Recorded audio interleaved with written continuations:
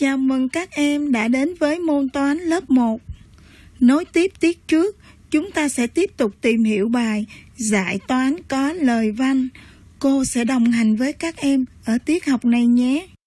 Bước vào bài học, cô mời các em cùng quan sát tranh sau.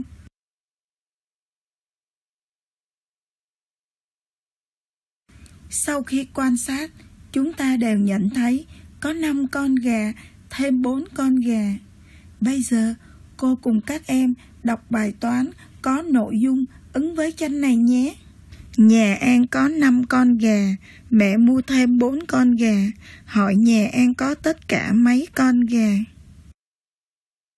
Qua bài toán cho cô biết nhà An có mấy con gà, mẹ mua thêm mấy con gà nữa. Các em đã biết nhà An có 5 con gà. Mẹ mua thêm 4 con gà. Hai điều trên chính là thông tin bài toán cho ta biết. Đọc lại bài toán và cho cô biết bài toán hỏi gì. Các em đã biết bài toán hỏi nhà An có tất cả mấy con gà. Qua phần trả lời của các em, ta có thể tóm tắt bài toán như sau. Có 5 con gà, thêm 4 con gà, có tất cả mấy con gà. Muốn biết nhà An có tất cả mấy con gà, ta làm thế nào? Ta phải làm phép tính cộng, lấy 5 cộng 4 bằng 9. Như vậy là nhà An có tất cả 9 con gà. Cô sẽ viết phép tính như sau. 5 cộng 4 bằng 9 mở ngoặc đơn, con gà đóng ngoặc đơn. Các con chú ý ở đây 9 chỉ 9 con gà nên viết con gà trong dấu ngoặc đơn. Ngoài viết phép tính, cô sẽ hướng dẫn các em viết lời giải cho bài toán này. Khi viết lời giải, chúng ta sẽ dựa vào câu hỏi của bài toán. Ở câu hỏi, có mấy con gà? Thì đầu câu lời giải sẽ là số con gà. Tiếp tục, cô sẽ chọn những chữ đứng sau chữ hỏi trước chữ mấy. Cô sẽ ghi thêm vào nhà An có tất cả là. Vậy lời giải ghi đầy đủ. Số con gà nhà An có tất cả là. Ta đã thực hiện viết lời giải, viết phép tính và cuối cùng sẽ là viết đáp số. Đáp số chính là kết quả của phép tính 5 cộng 4 cô ghi đáp số chấm hai chấm chín con gà. Cô và các em cùng đọc lại bài giải của bài toán này nhé. Số con gà nhà An có tất cả là 5 cộng 4 bằng 9 con gà. Đáp số 9 con gà.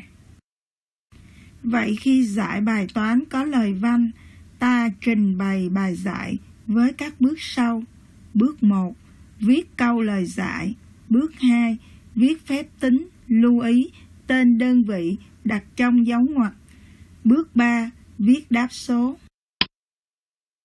Cô và các em vừa tìm hiểu cách trình bày bài giải của bài toán có lời văn. Giờ thì các em thư giãn nhé.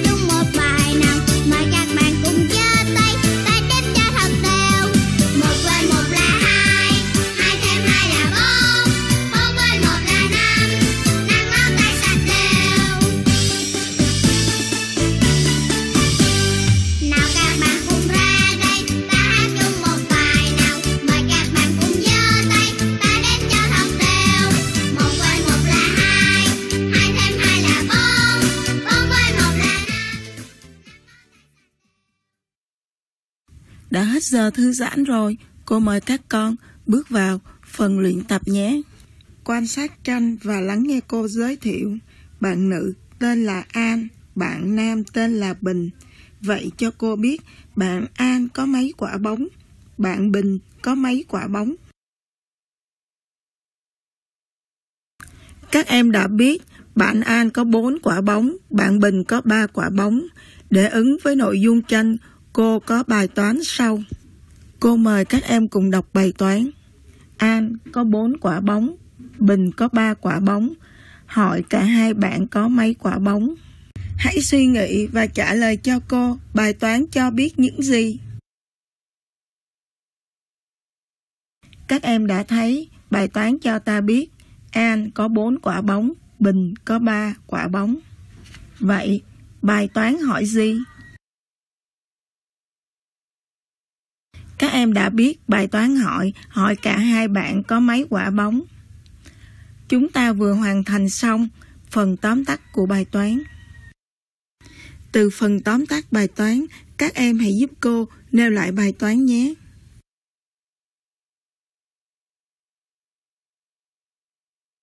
Dựa vào bài giải cho sẵn, nhưng chưa hoàn chỉnh, các em nêu tiếp các phần còn thiếu để hoàn thiện bài giải.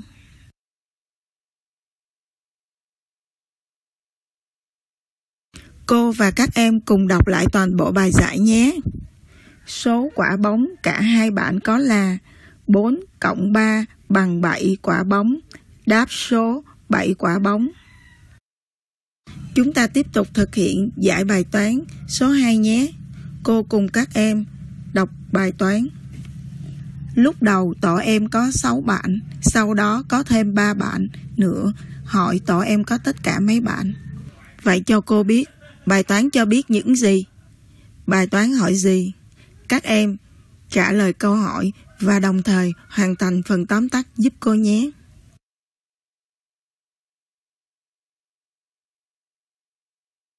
Từ phần tóm tắt, cô mời các con nêu lại bài toán.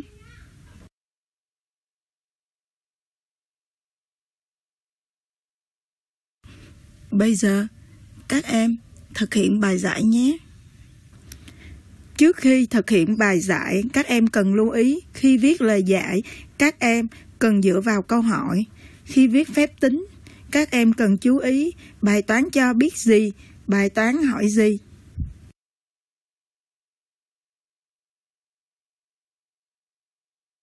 Các em đã hoàn thành xong bài giải. Cô cùng các em đọc lại toàn bộ bài giải nhé.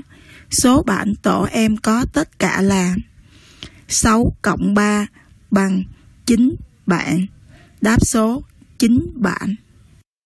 Qua các bài tập vừa thực hiện, các em cần nắm vững các bước của bài giải toán. Bước 1. Viết câu lời giải. Bước 2. Viết phép tính, tên đơn vị, đặt trong dấu ngoặc. Bước 3. Viết đáp số. Lưu ý cách trình bày bài giải. Lùi 6 ô viết giải. Lùi 2 ô viết lời giải.